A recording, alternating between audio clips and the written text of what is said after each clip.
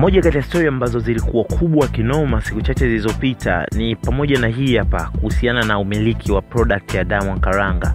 Au vipi eh? ambapo hapo awali watu wengi walikuwa wanafahamu kwamba product hiyo ni ya Diamond Platnumz, yeye ndo anasimamia kila kitu kwenye mchongo huu but siku chache zilizopita mtangazaji wa kipindi cha Shilawado Kwisa Mzee Mkavu aka break the news kwa kuposti video kwenye ukurasa wake wa Instagram unaomwonyesha mzungu fulani hivi ambaye alikuwa ametembelea ofisi za Clouds Media Group pale na akiwa ndani kwa Damon Karanga. So Kwisa Mzimkabu akatusanua kwamba mzungu huyo afahamike kama Mr. Radma ndiyo mmiliki halali wa Damon Karanga akiwa shares na bwana Joseph Kusaga mkurugenzi wa Clouds Media Group au vipi eh?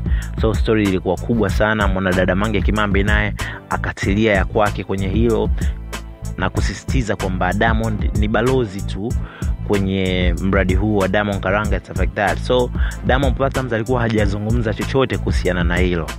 Leo asubuhi kupitia Instagram page yake Simba himself ameposti picha ya damon Karanga zikiwa mezani zikiwa kama na kikombe cha chai hivi na kuandika caption inayosomeka kwamba good morning kutoka kwa mheshimiwa balozi.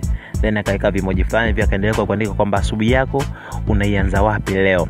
Then akawatagi damon Karanga. Kiji caption hicho cha Diamond platinums kinaweza kikaa kimeplay pati mbili hivi au vipi eh? kwamba moja ni kweli amethibitisha yeye ni balozi wa Diamond Karanga. Pili kuwakejeli washikaji fulani hivi ambao walikuwa wakimsakama wakimbeza kuhusiana na ishu hiyo au vipi eh?